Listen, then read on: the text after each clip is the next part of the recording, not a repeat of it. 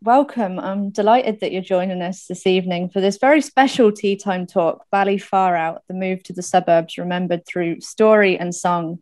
And for those of you who are new to Tea Time Talks, this is a series of talks inspired by the history and people of 14 Henrietta Street in Dublin 1. And 14 Henrietta Street is a social history museum that tells the story of Dublin life from one building's Georgian beginnings to when it was a tenement. It's run by Dublin City Council Culture Company, who run cultural initiatives in buildings with and for the people of Dublin. My name is Kate, and in a couple of minutes, I'm going to hand you over to today's speaker, Donal. But before we start, I just want to let you know um, a few bits of housekeeping. So, first of all, there will be time to ask questions at the end of the talk. Um, if you'd like to ask a question, down at the bottom of your screen, there should be a Q&A box that you can type your questions into, and we will get to as many as we can at the end. Um, this talk is being recorded, so it will be shared at a later date over our channels. And if you want to find out when it's available and find out about other events, you're very welcome to sign up to our newsletter. I'll pop a link for that um, into the chat after I've handed over to Donal. And the talk today is in celebration of a book that 14 Henrietta Street has recently published called 14 Henrietta Street From Tenement to Suburbia 1922 to 1979, written by Donal Fallon, who will be your host this evening. It's one of three books which tells the story of the house from when it was a Georgian townhouse to when it was a tenement. Each book covers a different period of that history. And Donal's book, the third in the series, talks about the move to the suburbs. They've just um, launched the past couple of days. They're not academic books, they're really accessible if you just have a general interest in Dublin social history. So I will also put a link to where you can buy them in the chat after handing over to Donal. So, a bit of an introduction to Donal Fallon. Uh, he is a historian, lecturer, and author based in Dublin. His publications include a biography of Major John Mac Bride by O'Brien Press and a history of Nelson's Pillar by New Island Books. He is co founder of the award winning social history website Come Here to Me and presents the Three Castles Burning podcast. Donal currently works as a historian and guide with 14 Henrietta Street, and he was involved in the original oral history project during the development of the museum. And he's going to be taking you through the story of the move from the tenements to the suburbs today with guests Peter Brannigan, Phelim Drew, Brian Brannigan from A Lazarus Soul, and Brian Mooney. So without further ado, I will hand over to Donal and enjoy the talk. Lovely. Uh, hi, everyone. Thanks for joining us on something that's a little bit different from uh, our usual events. Uh, I'm not on my normal laptop, by the way. I know the, the video is a little bit skippy, but the audio is fine.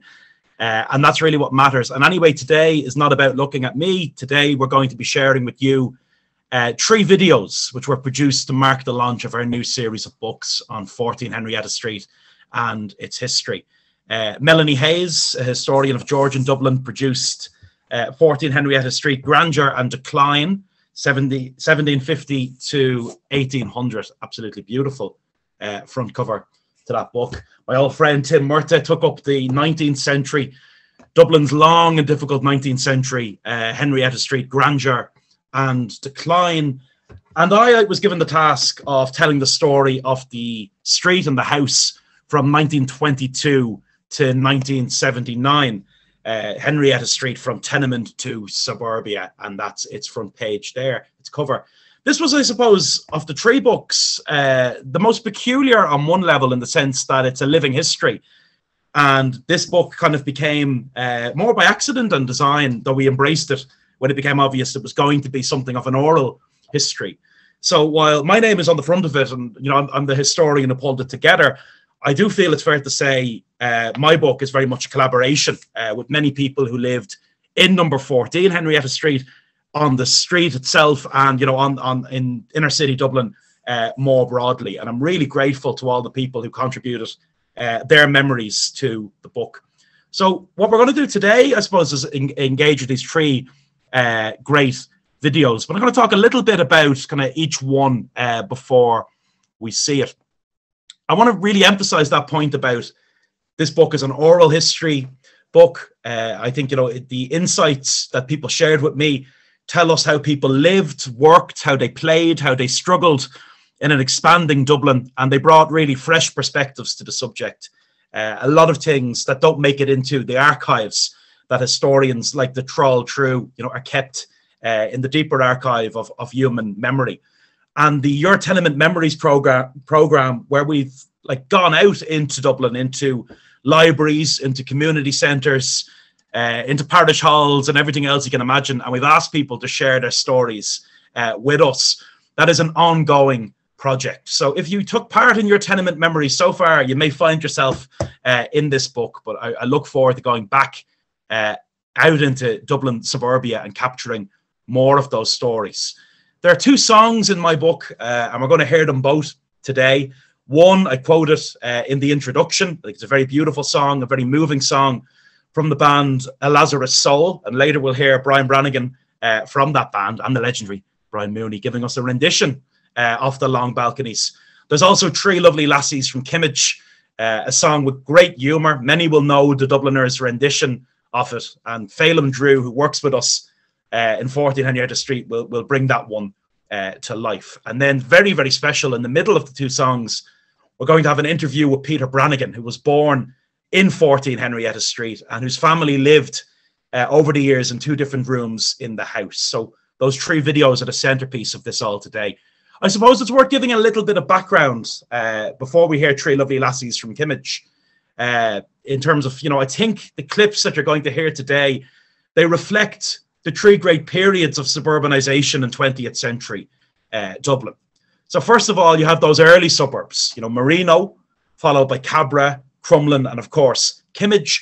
When we talk to Peter, we come to a new era of suburbanization uh, in the mid-century that was a little bit further out. You know, Donnycarney, uh, where his family went, uh, and Ballyfermot or Ballyfarout, uh, as some christened it, where my own family went. And then finally, and I suppose most contestedly, uh, before we hear the long balconies, we'll talk a little bit about the suburbs of the 1960s uh, onwards, you know, Ballymun, Tallaght, uh, and the like. And in fact, the first line of that Lazarus Soul song, first day of April 1963.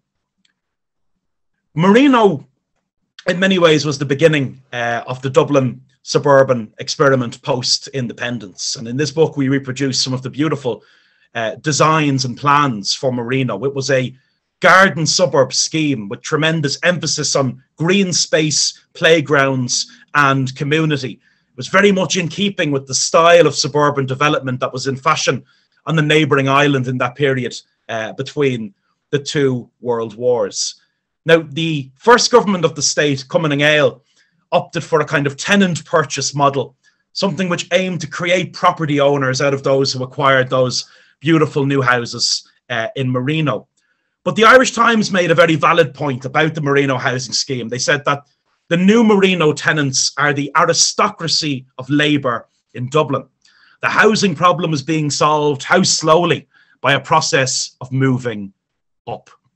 Uh, the Marino's scheme reminds me in a lot of ways of the Dublin Artisan Dwelling Company houses that you find in places like Portobello uh, and Stoneybatter, Harold's Cross from the late 19th and very early 20th century. We all know those beautiful little red brick and yellow brick houses uh, that line the streets of Dublin 8 and Dublin 7.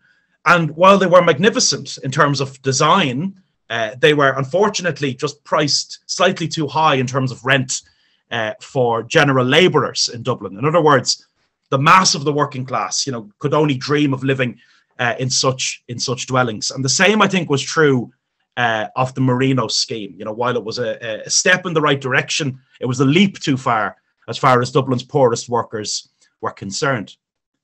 But then in the 1930s came an incredible wave uh, of new suburban developments, a time for thinking big.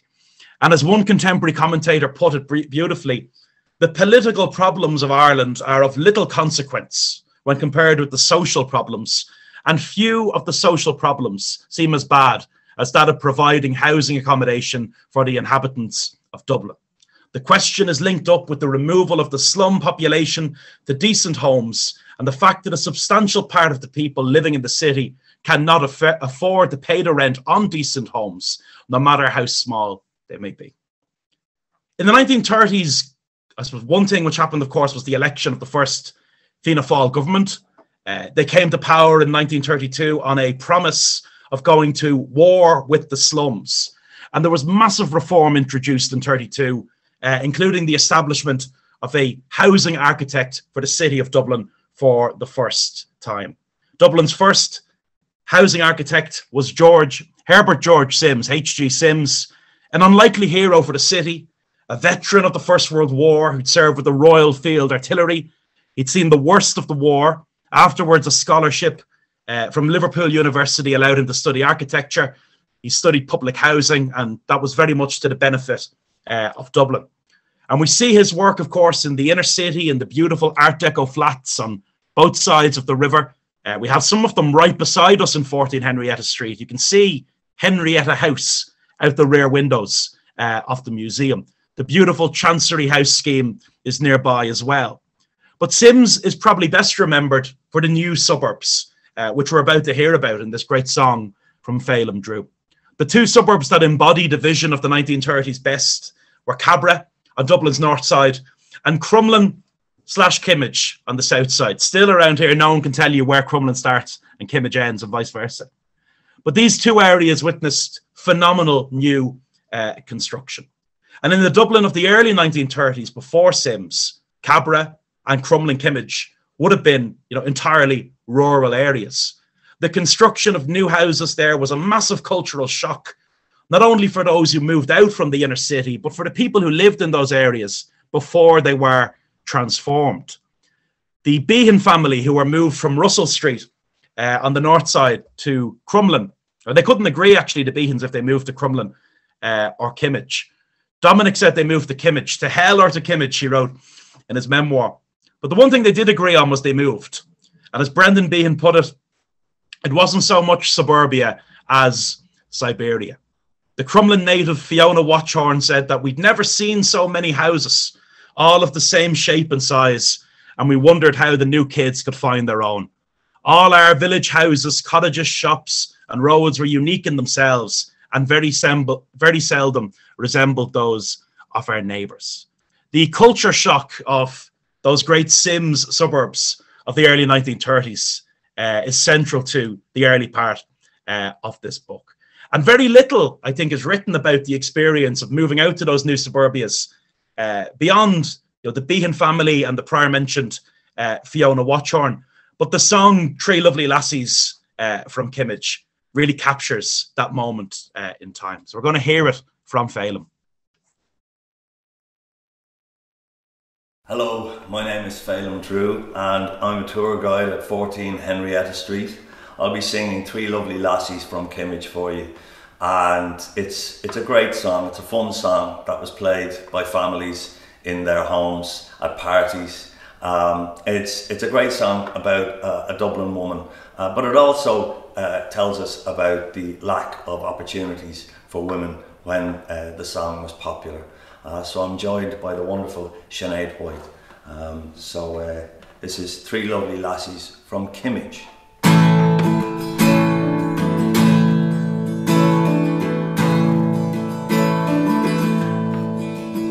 There were three lovely lassies from Kimmage, from Kimmage, from Kimmage. There were three lovely lassies from and mine was the belle of the ball, and mine was the belle of the ball. There were three lovely lassies from Kimmage, from Kimmage, from Kimmage, and whenever there was a bit of a scrimmage, sure mine was the toughest of all. Sure mine was the toughest cause of the row was Joe Cashin, Joe Cashin, Joe Cashin. For he told me he thought I looked smashing at a dance in St. Anthony's Hall. At a dance in St. Anthony's Hall.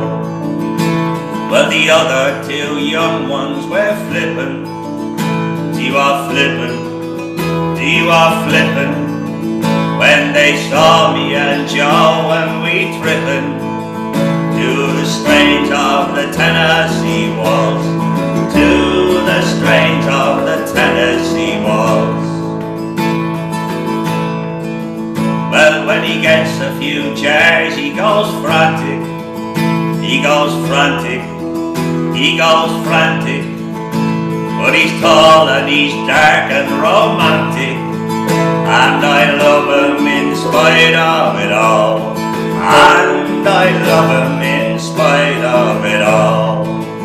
Well, he told me he thought we should marry, should marry, should marry. He said it was foolish to tarry, so I lent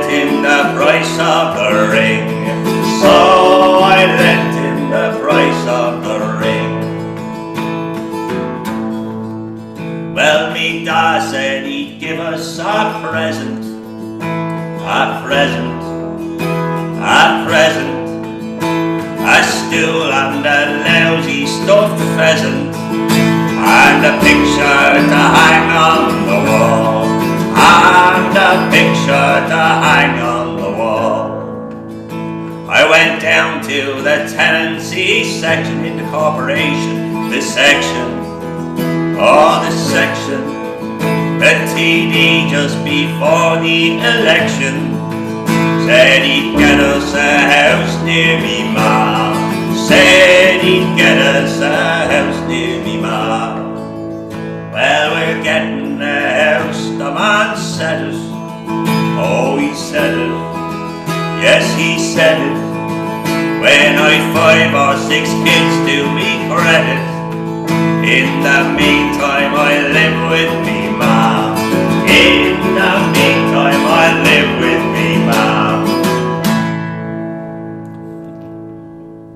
Lovely. That was that was really really nice. And uh, one of the one of the great things about these videos today is that you're getting a, a real insight into the into the museum itself. You'll see different parts of it uh, overall. Uh, three videos. That was Miss Dowling's flat, uh, which is an incredible place. If you've ever been inside of it, it's like a time capsule of of uh, Dublin at a moment in time. So it's the very last era of people living uh, in, in, kind of tenement living on, on, on Henrietta Street. But has a real emotional effect on people uh, visiting visiting that room. I think it's just the everyday, the collection of everyday artifacts and the power they can have in, in transporting us back uh, to a different time. Uh, and later on, when we hear uh, a Lazarus Soul, Brian from a Lazarus Soul, and Brian Mooney, you'll see a different room of the museum, uh, which is the suburbs room. And when I'm talking to Peter Brannigan uh, in just a moment, you'll see what's now the reception of the museum, but once upon a time was the room in which the Brannigan family lived. Uh, Peter Brannigan is a remarkable fellow uh, who I met through the museum, but who's actually been connected to Henrietta Street, even in recent years before 14 Henrietta Street emerged as a museum itself. Some of you might remember in 2013, during the centenary of the 1913 lockout, that the building was opened uh, ANU Productions, fantastic uh, theatrical production company. Tim, in his upcoming talk, will be speaking uh, to Louise Lowe from ANU Productions. Put on some really powerful performances in the space. And for a lot of people, including me, I think 2013 was the first time we got inside number 14 and got to see what was happening uh, behind those doors. It was quite incredible uh, to walk around that building and to have it brought to life by, by the art uh, and the vision of ANU Productions. But Peter tells a, a great story of walking up the street, uh, seeing the door was open, uh, and just being amazed to be back uh, in the very building that he himself uh, had been had been born in, and that really began a relationship for for Peter with the the new uh, 14 Henrietta Street project. Peter was born in the building in 1939, and his memories throughout the book uh, are quite remarkable. Out of a family of 13 children, I was the only home birth, and that was down in the basement of 40 in Henrietta Street. I was lucky in one way I was born in the summer, because the mortality rate of a child being born in the conditions that we lived in would have been very, very high. The basement, as you know it, is in very, very poor condition. It was wet and cold. We had no electricity and no gas light down in the basement, and we only had candlelight or lamplight. That's the conditions I was born in. But slightly after that, we moved to the smallest room in the house, which is the hallway. and there was 13 of us lived there. Now, incredibly, when Peter returned uh, to 14 Henrietta Street, he noticed that a nail still on the wall uh, in that room that his family had lived in was present, on which the Brannigan family uh, had placed a holy picture. And that picture was gifted back to the museum by the Brannigan family and hangs there again. Incredible that that nail, you know, it links the museum to its time uh, as a tenement home. The period that Peter will be talking about, in the video uh, that we're about to see, was a very different time in the story of Dublin housing from the 1930s. You know, in the 30s, Dublin housing was defined by Cabra uh, and Crumlin Kimmage. The 1950s would likewise transform the shape uh, of the city, but she was moving in different directions. Now came Ballyfarout, Finglas, Donnycarney, and more besides. The way Peter talks about moving to Donnycarney in the book is incredibly moving. We were offered a house out in Donnycarney. My mother's two brothers, Christy and Peter, hired out the handcarts for whatever possessions we had. On the road out to Donnycarney, which is three and a half miles from here, we met other people in the same position. It was a beautiful day, and it was like an exodus of handcarts going up the Malahide Road, going to the new estates. And I always remember the people on the far side who'd already delivered into the new houses, shouting at us, You're going to love it. They're beautiful houses. It was like an exodus, like something you'd see uh, in Russia. I think what really comes through in the book when we're talking about uh, the 1950s is that the social isolation, I think, uh, was much realer uh, for many people in these new suburbias. We talk about some of the very real battles that were fought over sometimes surprising things, like a fruit and vegetable co-op uh, in Ballyfermot or the absence of bus services in the new north side suburbs. Uh, and if Crumlin and Cabra felt rural to people in the 30s, well, the developments of the 1950s felt entirely alien. The Patrick, uh, the TD Patrick Byrne said in the Dáil, those of us who are involved in Dublin housing problems are only too well aware of how reluctant our people are to accept corporation houses in far outlying places like Coolock, Ballyfermot, and Finglas. Ballyfermot is known in the vernacular as Ballyfarout. I have known of many cases where persons sorely in need of housing were put up with inadequate accommodation in the city rather than accept housing in these outlying areas. And in the interview that you'll hear, Peter talks quite movingly about uh, the effect of moving out to these new suburbs, to Donnycarney, on his family and in particular on his mother. So the room that you're going to see in this next clip uh, was once the family home uh, of the Brannigans. That's where we sat and had a chat. And I must warn you, uh, this interview was done before the hairdressers had come back. So, Peter, we are sitting in what to me is the reception of 14 Henrietta Street, but what to you was once home. And I gather your story in this building began in a, in a different room entirely. So, you have two homes, we might say, within this home. Within this home. Yeah, I was I was a family of 13 children. I was the first homebird, and that was down in the basement of this house here. And as you can see, the conditions, um, it was quite damp because there was no outer doors, and of course, the wind used to whip in the rain and all like that. Now, I didn't live down there for too long. Um, I think because I was a newborn child, um, they, we were moved up here into the, the front room here. Yeah. What did your parents do for a, for a living? Because I think there's a there's always a perception when you go back to the census, say of 1911, everyone on the streets a general labourer and that, but it was much more diverse than that in terms of what people did here. Well, uh, my father worked in the, the stationery office. You know, he uh, he had a steady job Unlike a lot of people in the street, he had a steady job, but it was a very low paying job. Uh, when you consider that uh, a fella on the docks could earn in one day what took my father six days to earn. And it was as simple as that. And that's how low the money was. So we were always, it was always a struggle. But it, was, it was a struggle for everybody else on the street as well. And that's what makes this street so unique it's uh, I think because of the the King's King's Inn up above has turned the street into a, a cul-de-sac, mm. and it made people closer. That's what I felt about it. people were closer and we knew each other so well. One of the things that really comes across talking to you about this uh, building and this street, there's sometimes a perception that life here was incredibly difficult, incredibly hard, but you also talk about the great times here and play and your memories of play on the street and being, being young on this street. It was a, it was a playground.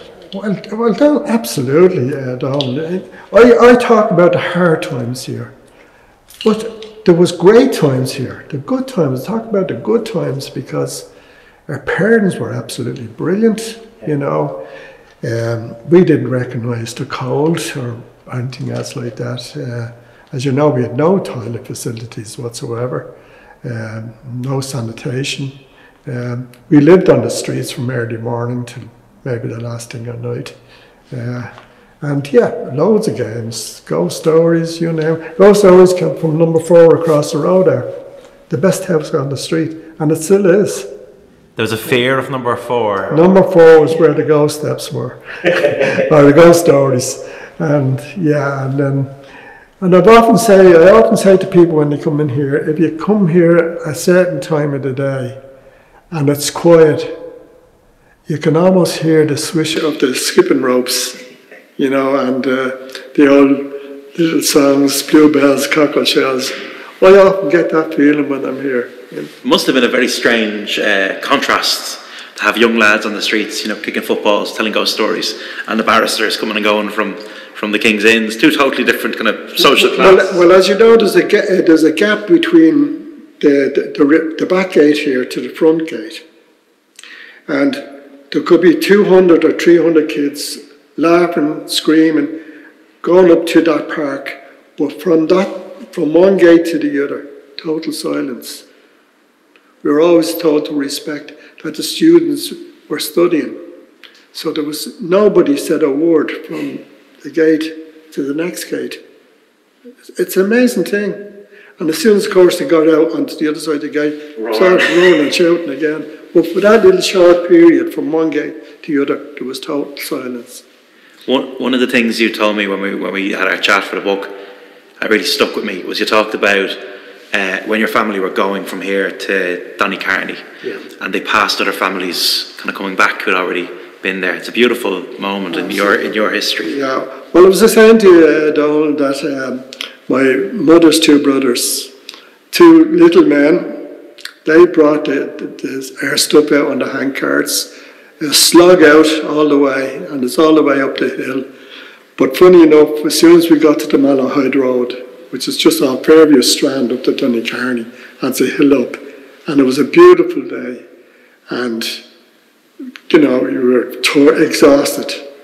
But as we came near to Donnycarney, there was other people coming back from Donnycarney after unloading their handcarts, and they were shouting to us, "You will love your houses," and that was the extra sport to bring us on to our houses. It was like a, an exodus, you know, that, that you would see, you know, people going out with their handcarts, some on pony and traps, but. Uh, then on you had the other side where they already had moved into their houses and coming back into town going out there, I imagine for you and especially your, your, your brothers, the green space, you know, to kick a ball, all that would have been very important. But um, I remember you telling me that your, your parents found it more difficult, the new, the new community. Well, yeah, well, the thing about it is the living conditions was absolutely brilliant.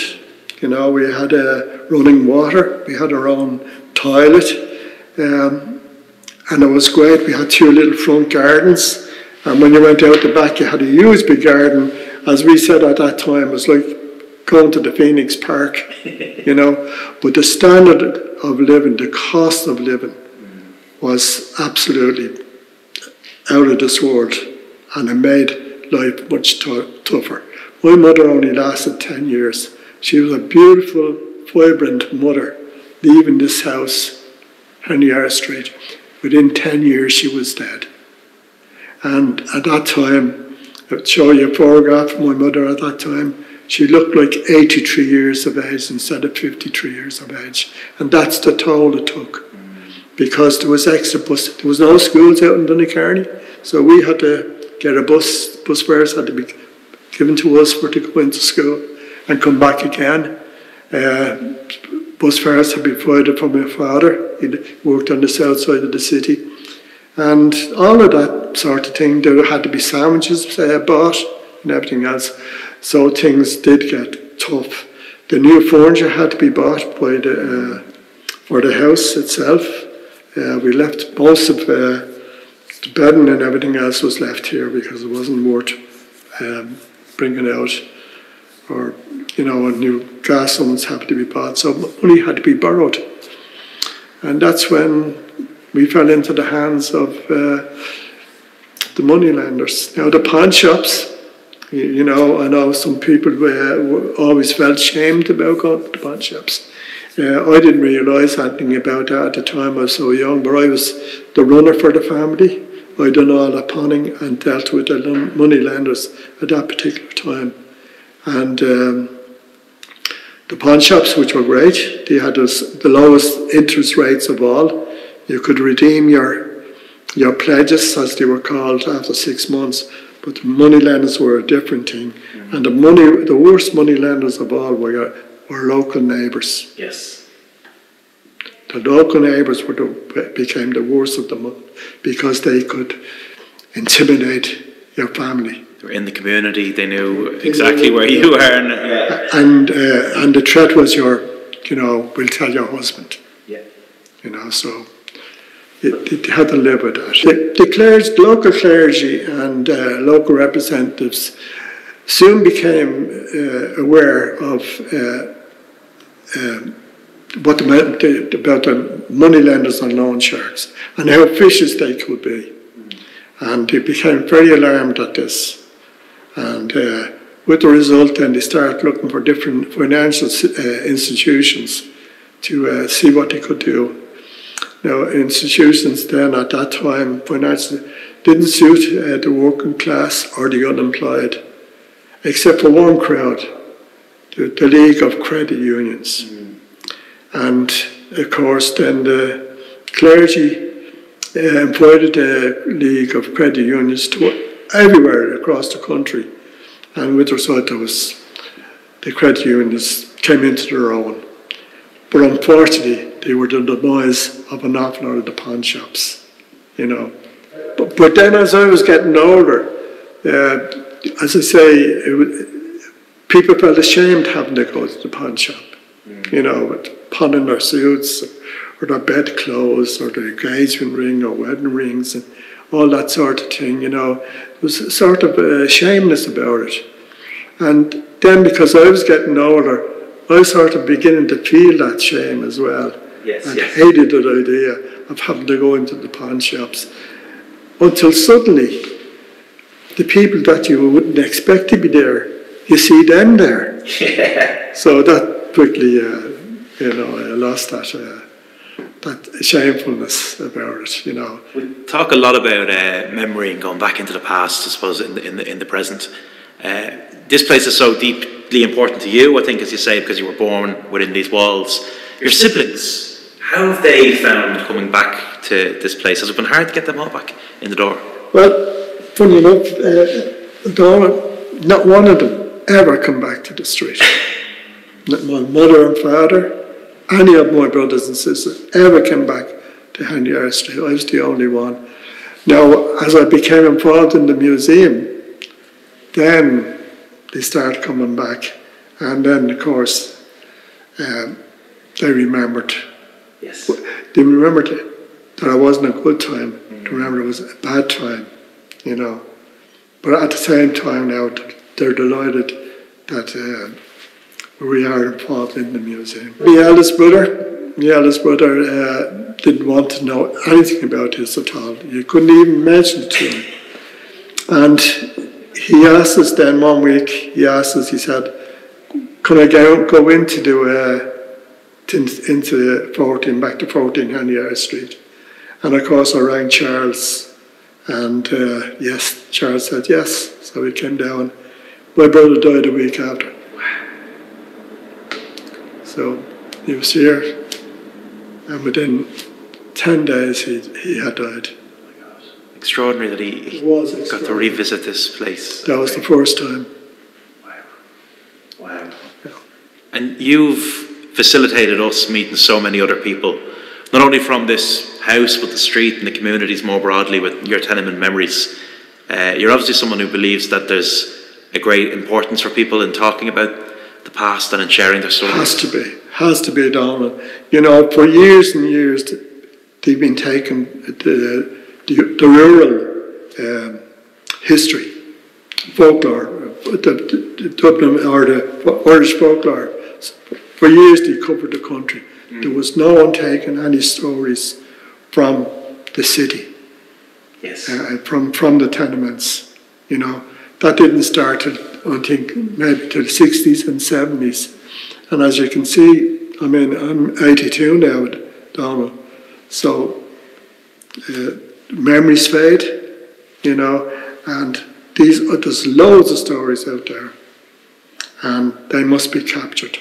But I would also like to think, and maybe you'd be one of the head starters on this, that you would take the history then from when the people moved out of tenements to new suburbs, the likes of Whitehall, Ballyfermot, Finglas, Crumlin, you know, all these places. What's happened to these people yes. from, from, uh, from the tenements?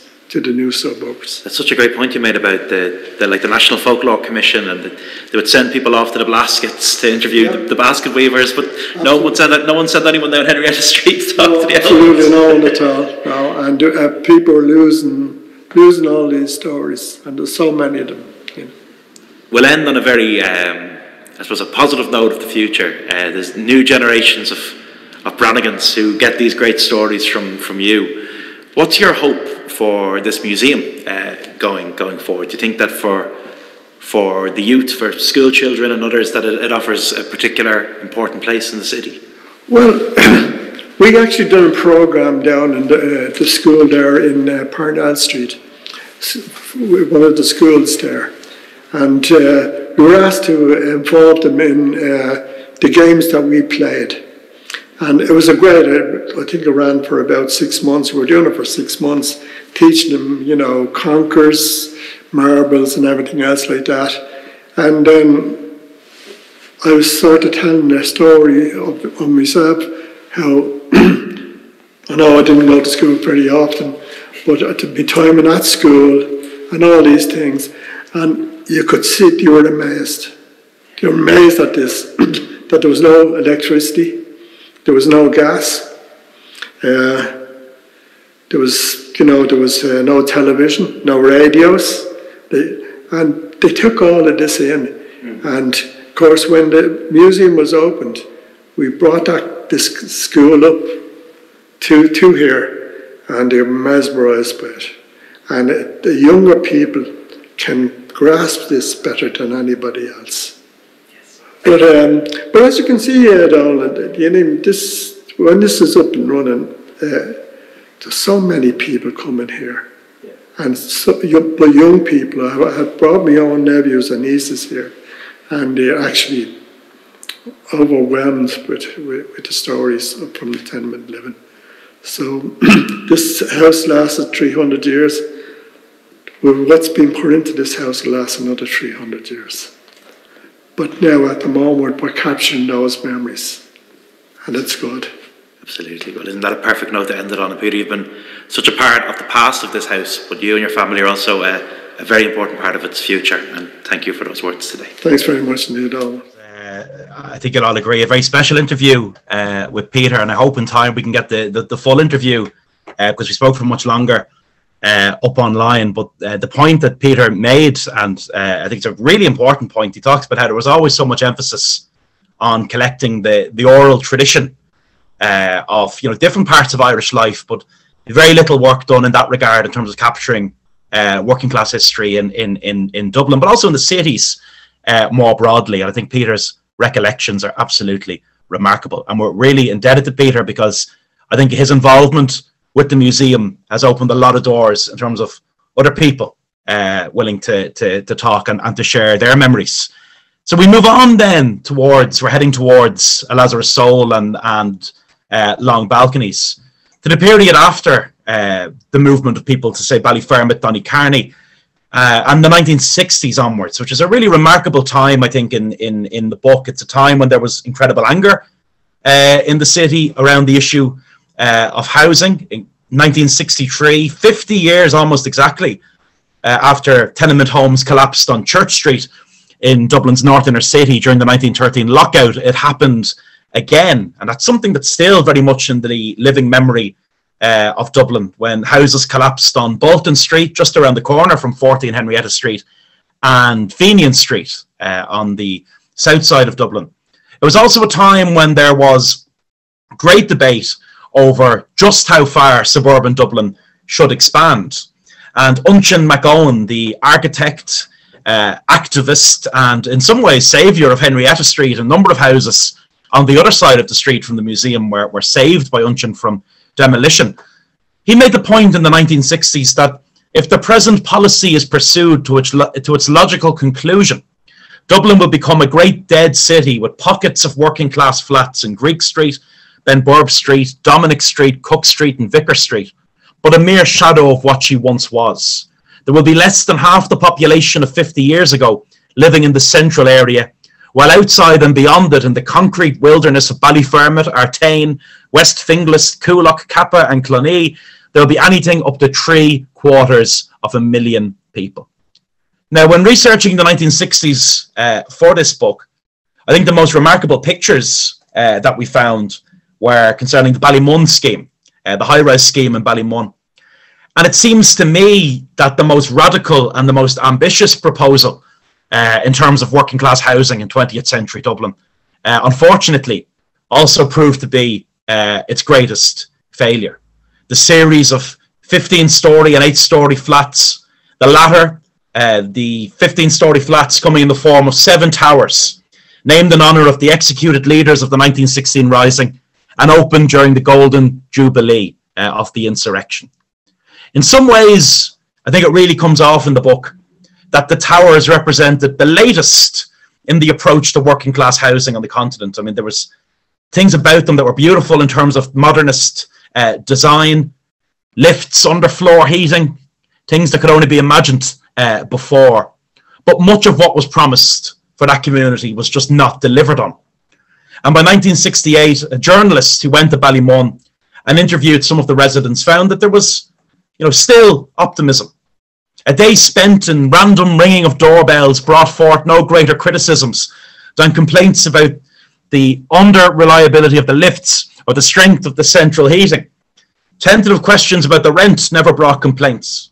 Even where it might be up to five times as much as had been paid in the old place, each tenant was emphatic that it was worth it.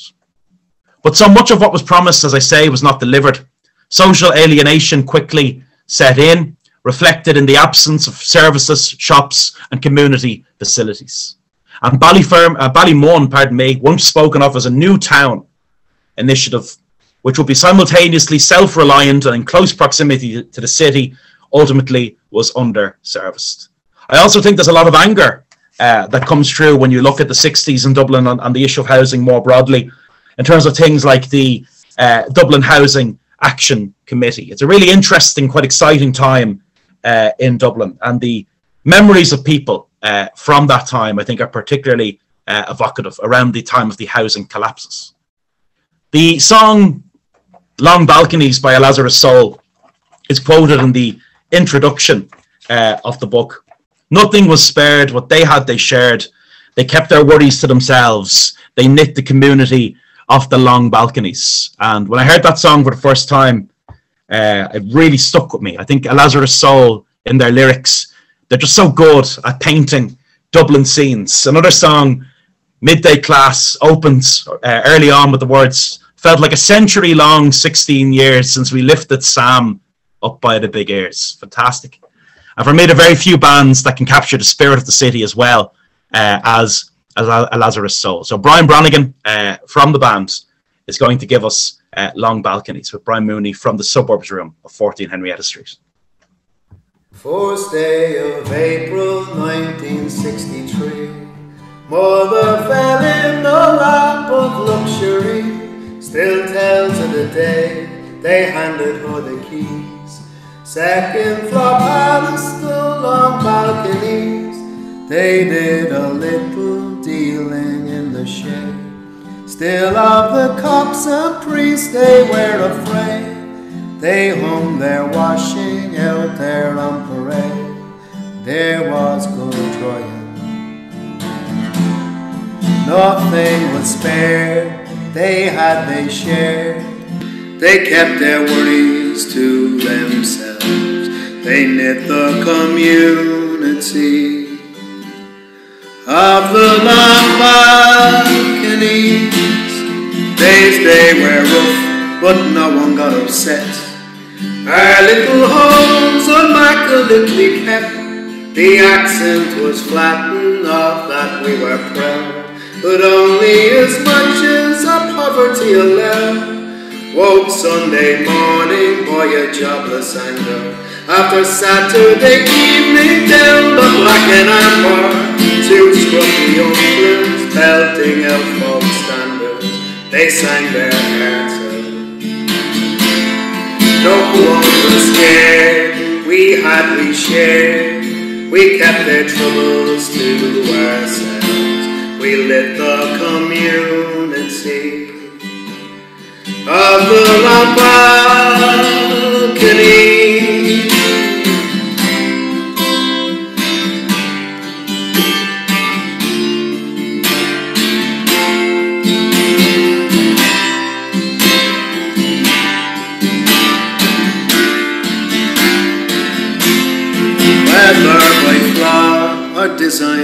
suspect, they let their kingdom fall into neglect.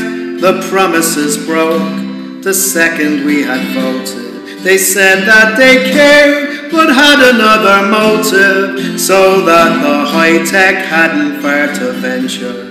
They needed homes beside the city center. We watched our neighbors slowly disappear. We cried our eyes. We became scared. We had they shared. They had it sewn up for themselves. They split the community of the long balconies. But we had a dream, you see, in the long balconies to never have to leave, leave the long balconies,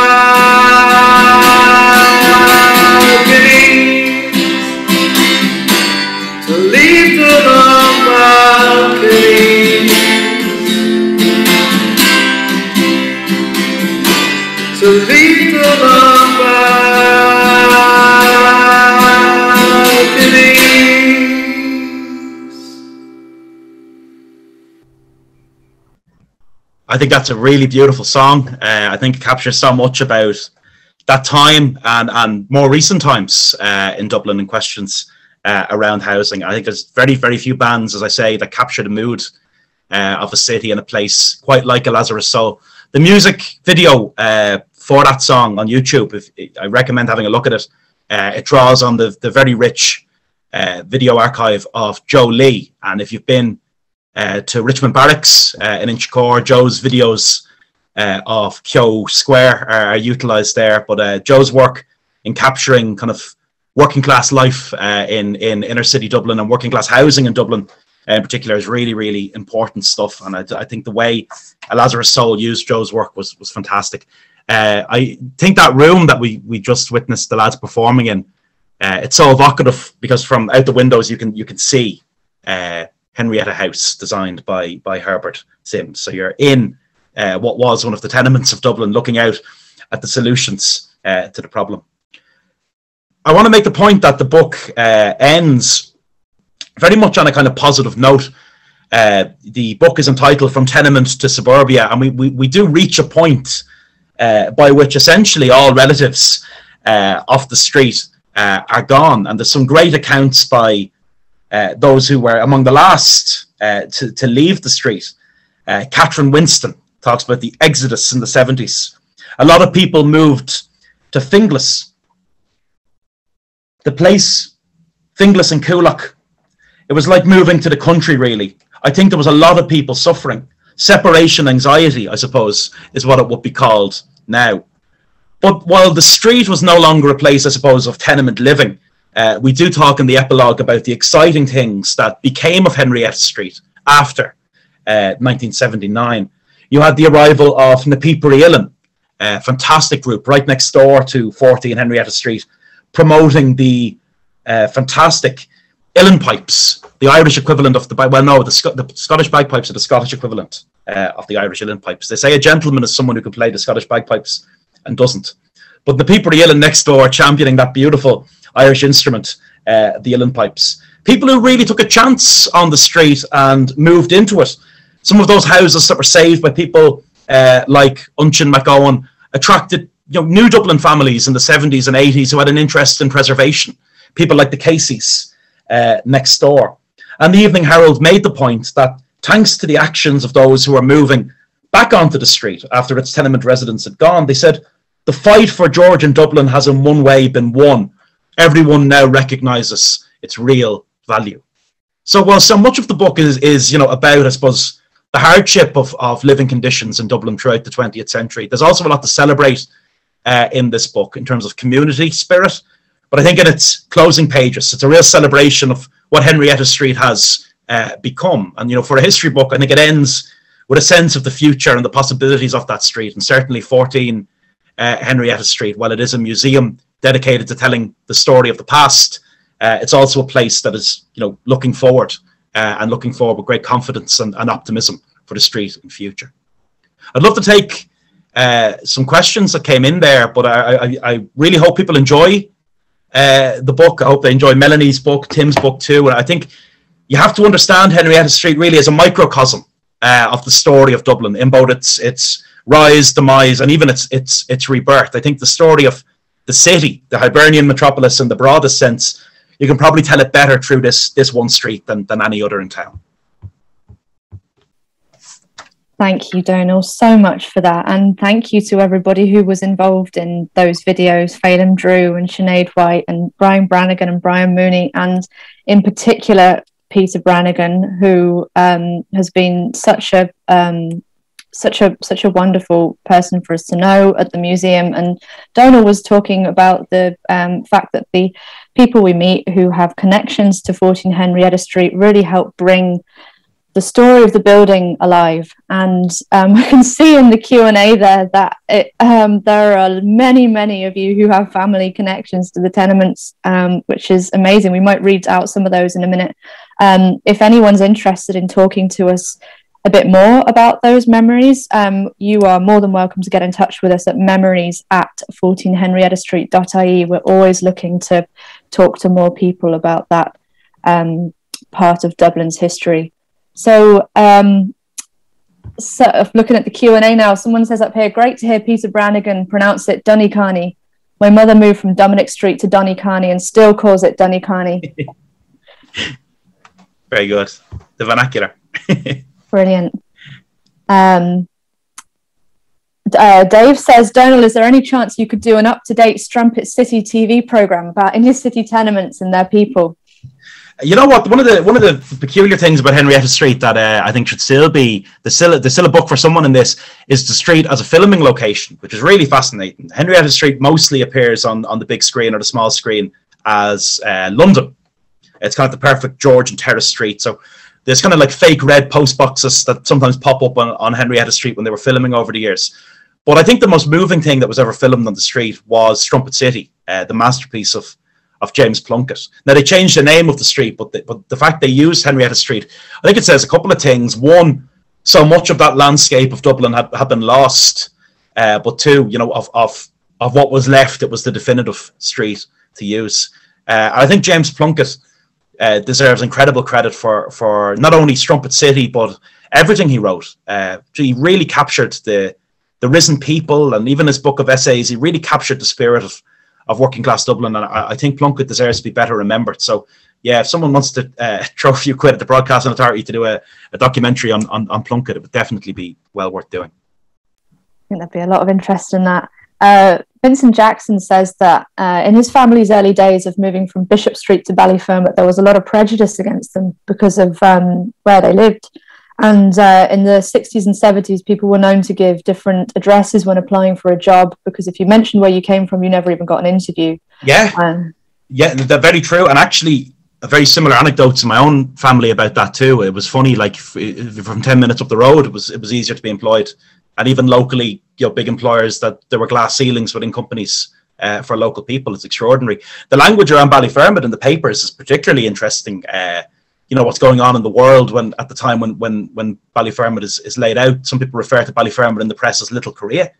Uh, so there was there was a particular uh, I wouldn't say disdain that's the wrong word, but the, yeah, I think the Bally those schemes in the fifties, uh, the way in which the, there isn't the same optimism that was there in the thirties towards Cabra and, uh, and and and Crumlin, and some of the language around Ballyfermot and its and its people uh, in the in the press in the fifties is, is remarkable.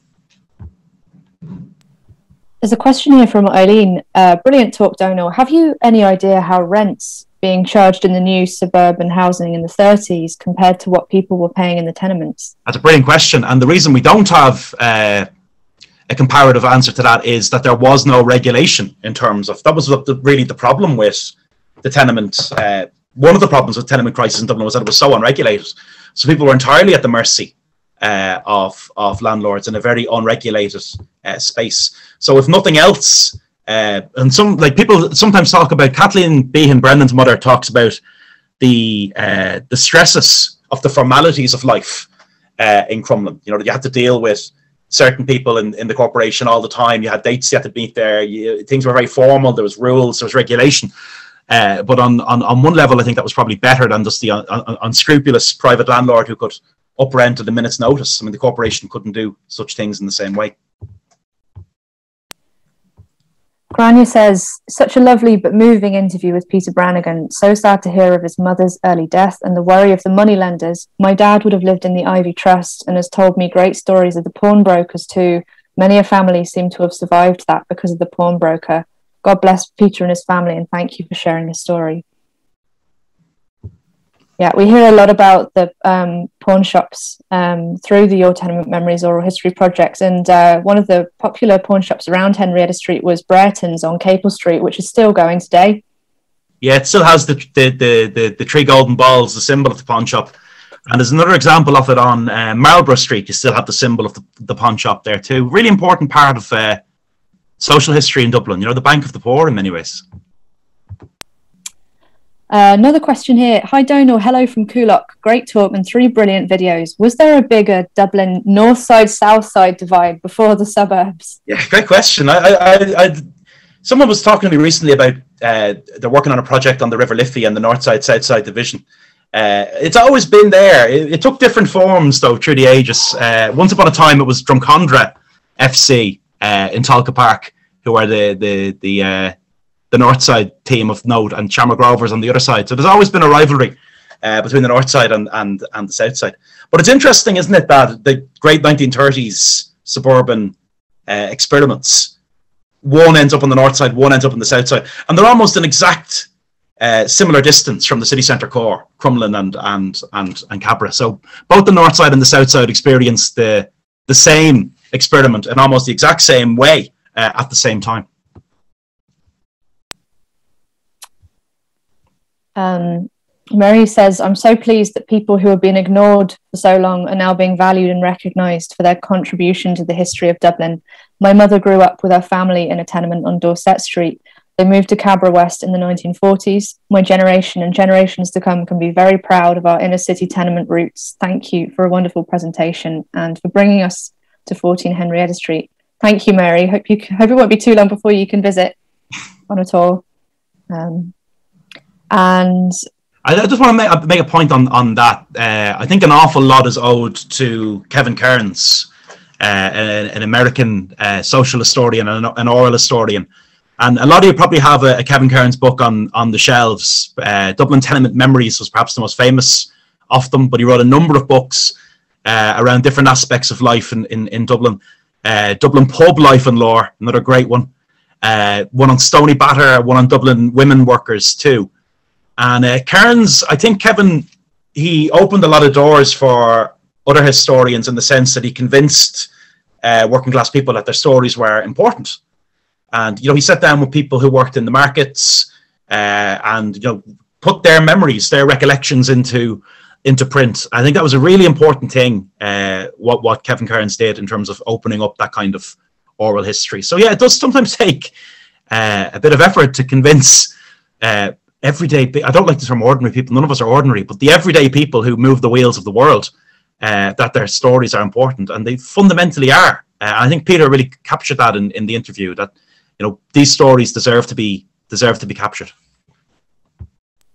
Yeah, and Donal, you know yourself from being involved in the oral history project that often the people we meet who think they have nothing to share have the most. Absolutely. You know, come and sit down and say, "Oh, I've got, I haven't got too much to talk about," and then an hour later, you're still there, yeah, still there talking to them. If you take someone who, who lived on Henrietta Street, for example, it's very likely that if they're if they're a woman, uh, they probably worked in Williams and Woods, you know, the great the great big sweet and jam factory just down the road.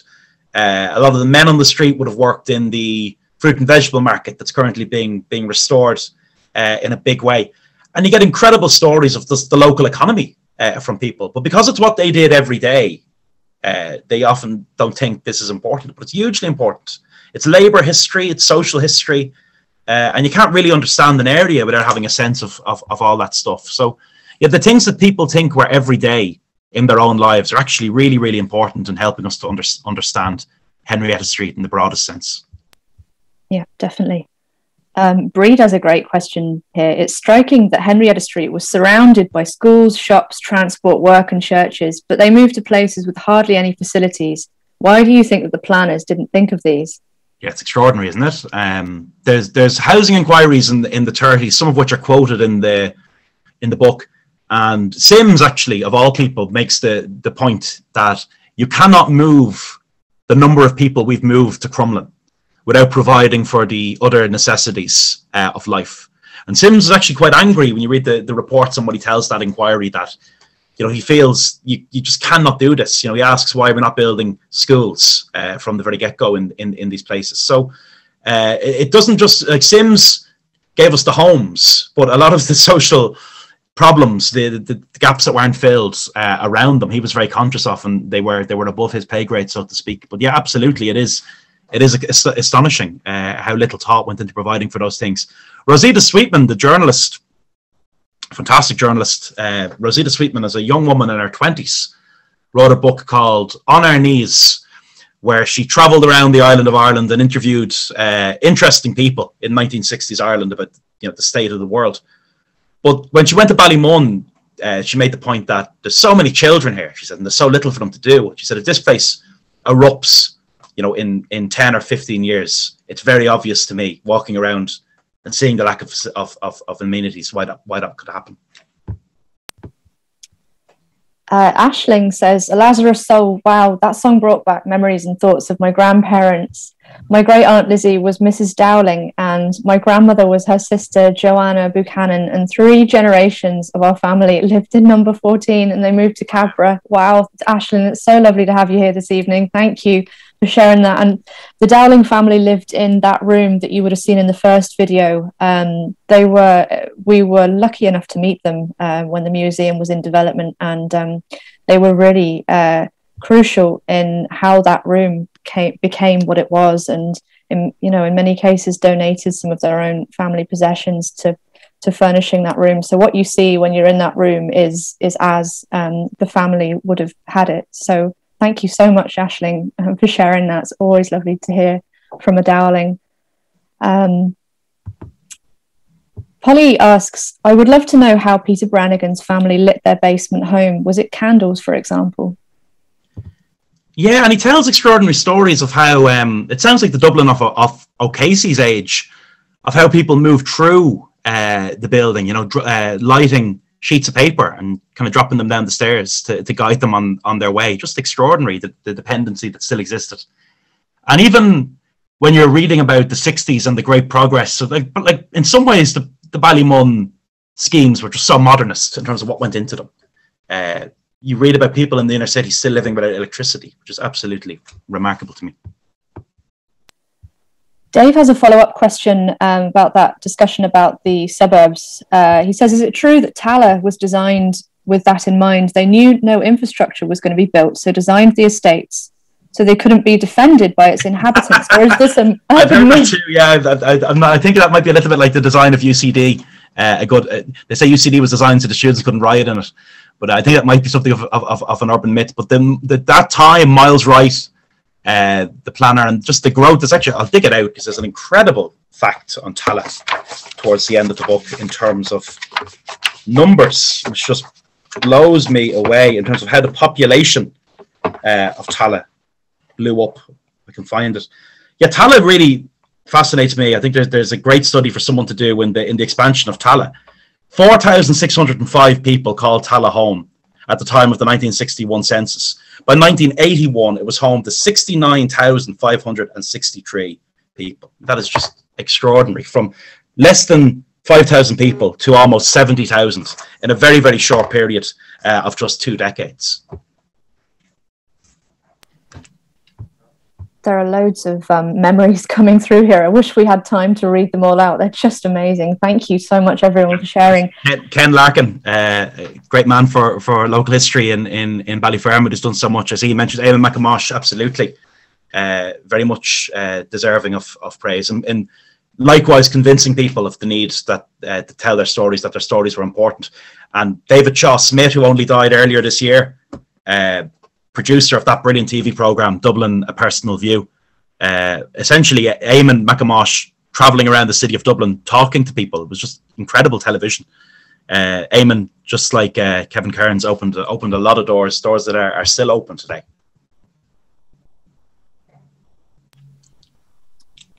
Uh, Mark says, My wife's grandparents lived in Bayview Avenue in Ballybough. They came out to check the new houses being built in Marino and decided they were too far out in the country. Hear that a lot. Um, can I ask when the books will be published and are they hardback or paperback? Um, I can I can answer that. At the moment, they are hardback, I believe. Um, Donal, I don't know if you have one handy. Might might be a good moment. To, there you go. Those are those are the three books. They're available now. Um, I can pop the link in the chat box again if you're interested in um, checking them out. Uh, lovely books. They're kind of embossed on the front as well. Um, so it kind of got a bit of a texture to them. So I'll put the link for that again in the chat. Um, Deirdre says, Thanks for the talk. I come from Ballyfermot and my dad was from Sheriff Street. I'm currently transcribing his memoirs written in 1986. Wow. My uncle always called my mum a culchie who came from Inchicore. very good, very good. Well, feel free to get in touch with me there through the through the, uh, through the museum, and I'd love to give you any guidance I can on on, on that. That sounds like a, a great project, though. Bit unfair uh, now on, on someone from Inchicore. Brendan Behan always insisted that anyone from beyond the canals was a culchie. Well, there you go. Then he went to live. Then he went to live in Ballsbridge. Uh, Dave says our pawn shop in Finglas East, the quiet part, was the rag and bone man. Kept a lot of families going was he a part of tenement history or was it rural? Absolutely. There's actually there's a great picture of uh, a rag and bone man that pops up sometimes on on uh, kind of Dublin history pages. Extraordinary. Uh, so yeah, it was a no. I think less of a phenomenon in, in the urban environment, but still there, still there. I think the picture was actually taken in uh, Crumlin, and it's in the National uh, Folklore Collection. Brilliant. I think we're um, just about coming to the end now. I don't know whether there's anything else there in the Q and A, Donal, you'd like to um, comment on um, before we wrap up. There's a couple of questions about when the recording of this talk will be available. Um, don't have an exact uh, date yet, but hopefully in the next um, next few weeks, couple of months, uh, you can find out when that's available on our website and social media channels. Uh, Deirdre says Interesting to hear Peter's comment about the local moneylenders. My granny called the moneylender Mrs. Conscience. very good. Very good. Great comments from from Jason, Vincent, Breed, everyone else. Just really and Dave, Mark, really, really fascinating comments. And uh, thanks to everyone who took the time to to type them. Yeah, thank you so much. I wish we had a chance to read them all out. But as I say, we would love to hear more from you. If you want to get in touch with us, please do email us at memories at 14 Henrietta Street. Um, we'd love to kind of keep having these conversations. As you saw today through Peter's, um, uh, Donal's chat with Peter, the, these are so important. This is how we keep the story of the tenements um, going. This is how we um, keep the story of the building alive. Um, so most of the collection of the building is actually oral histories and stories. So um, do get in touch. We might um, we might wrap up there and let you all get back to your evening. So, Donal, thank you once again so much for that. Um, another amazing um, talk, a bit different to usual. Um, thank you all for tuning in, and we'd love to see you at some other talks in the future. Um, so, uh, throughout June, all of the tea time talks are going to be celebrating those three publications. So our next one is on Wednesday, the 23rd of June, and that is um, about Timothy Murtagh's book Grandeur and Decline, 1800 to 1922.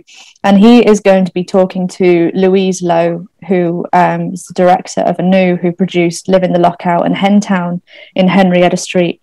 Um, over the past few years, they're going to be talking about Under Siege, Dublin tenement life, 1913 to 1916. And on Wednesday, the 30th of June, Melanie Hayes, who wrote the first book in the series, Georgian Beginnings 1750 to 1800, will be talking about those early years of the house. Um, so you can uh, go to our website and sign up on those. They're all free. And as well as Tea Time Talks, the, the wider Dublin City Council Culture Company does lots of other programs. So the other building we look after is Richmond Barracks in Inchicore, out in the country, as we saw just now. Uh, that runs a talk series called Mondays at the Mess, which is um, uh, every um, monthly on Mondays. And we also run a culture club, which is a series of talks and tours exploring um, cultural spaces of the city and the national neighbourhood, which is a year round programme that creates ways for people to make connections with culture in their places. So do go on to the Dublin City Council Culture Company website if you're interested in finding out about any of those. Hope we see you at more talks in the future and maybe even have a chat with some of you. Um, and have a lovely evening. Thank you again for coming.